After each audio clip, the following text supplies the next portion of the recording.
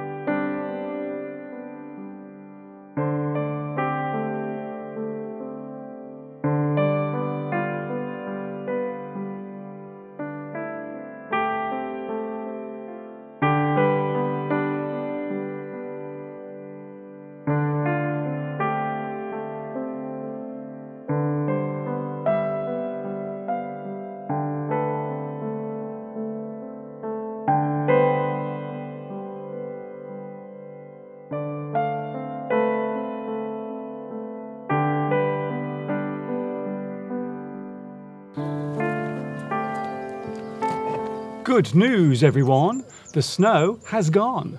Winter and spring have said bye bye, and now summer has decided to drop on by.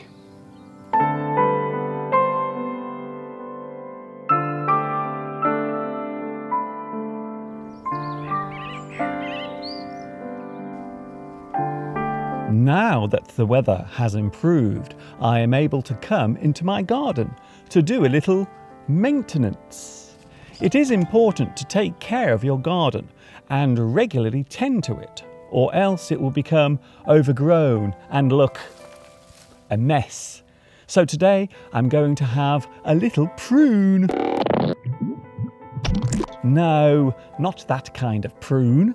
This particular prune is a verb and means to cut, normally used in gardening terms. Pruning is an important part of garden maintenance. It prevents the bushes and trees from becoming too wild and large. It also keeps them looking all lovely and nice.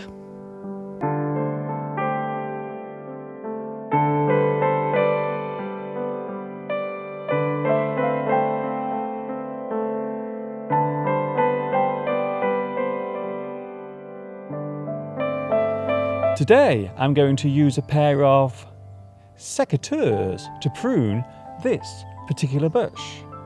The word secateurs comes from the Latin word for cut. In American English, these are known as hand pruners. So now I will start pruning back this bush. This action will ensure that the bush does not get too large. There are many bushes in my garden, so I will have plenty of work to do over the next few days.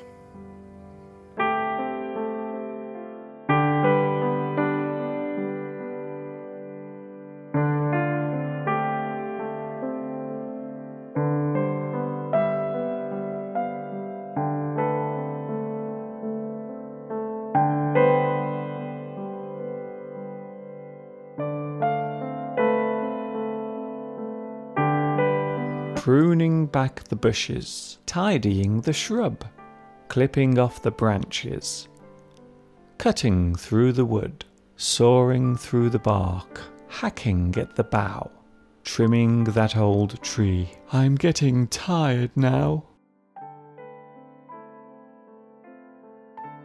All this work is tiring. It's almost too much for me. I have to rest my aching limbs. I need a cup of tea.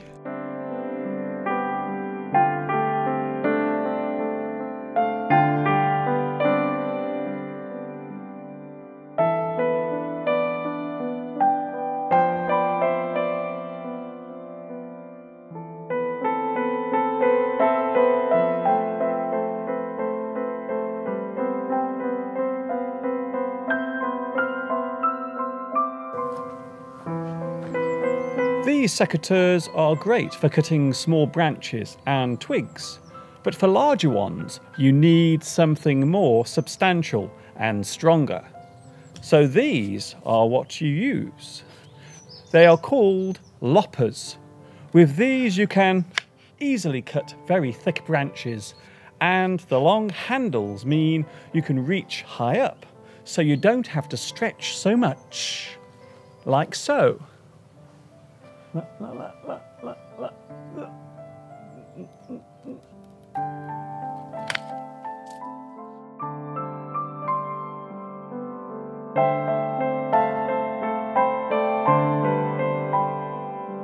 Let's take a short break from our pruning and go for a little walk. Is that okay?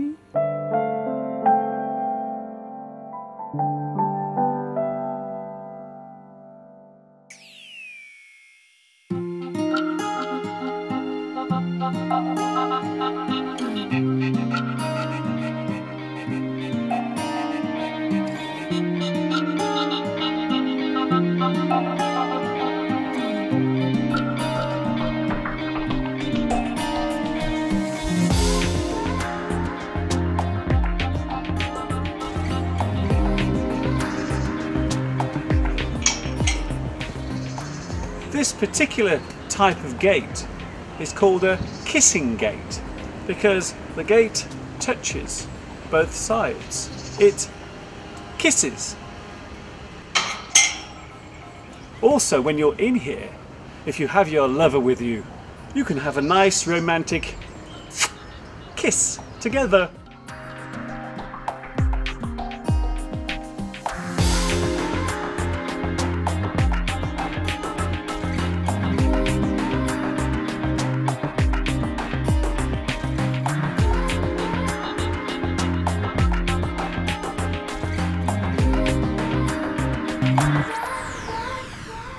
If you are a fan of garlic, then you are going to love this place.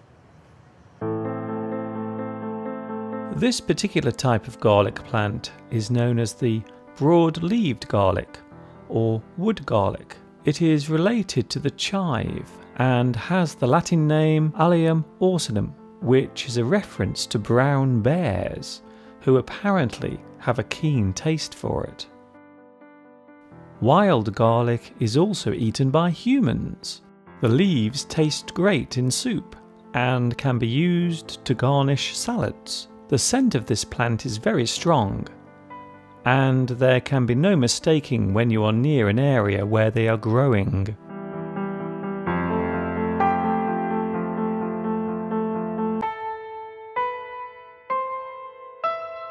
Here you can see thousands of wild garlic plants. Later they will come into bloom with brilliant white flowers. Their leaves are similar to those found on lily of the valley, the difference being that you cannot eat those leaves. Lily of the valley leaves are highly poisonous and eating them could prove fatal.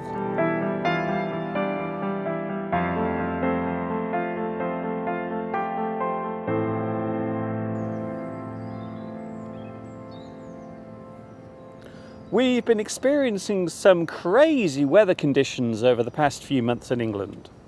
The end of 2012 saw one of the wettest autumns in history, and winter decided to come late, which led to spring almost being blotted out completely.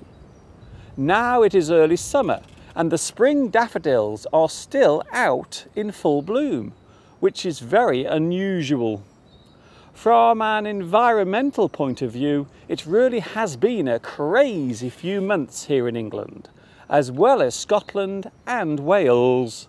Let us hope that the rest of the year will be a little more settled.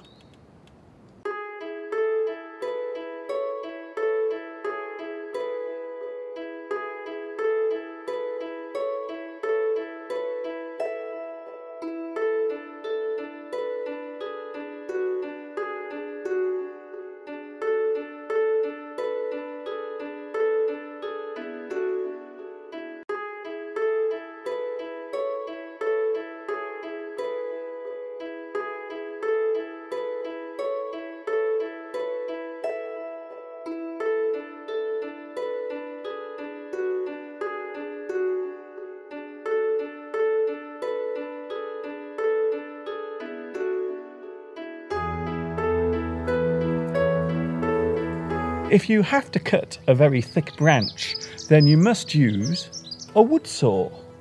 The sharp teeth on this saw make easy work of cutting through the tough bark and wood of almost any bush or tree.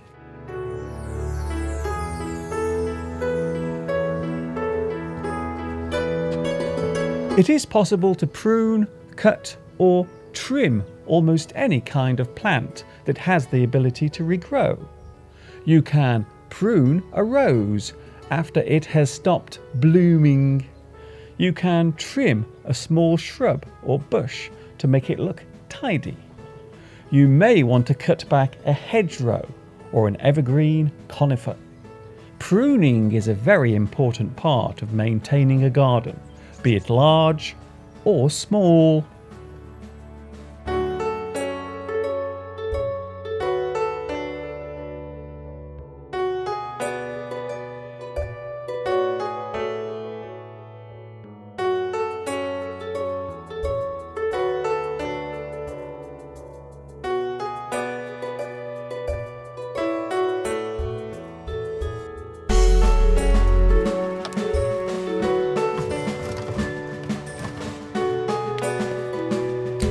There, that looks much better, don't you think? I will carry on with all of my pruning now, so until next time we meet, this is Mr. Duncan in England saying thank you for watching me teaching you. And of course, ta-ta for now.